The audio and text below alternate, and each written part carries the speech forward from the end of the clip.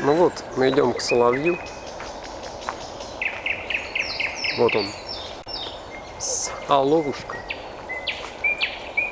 Вот сейчас он выдает как надо. Сейчас он нас услышал.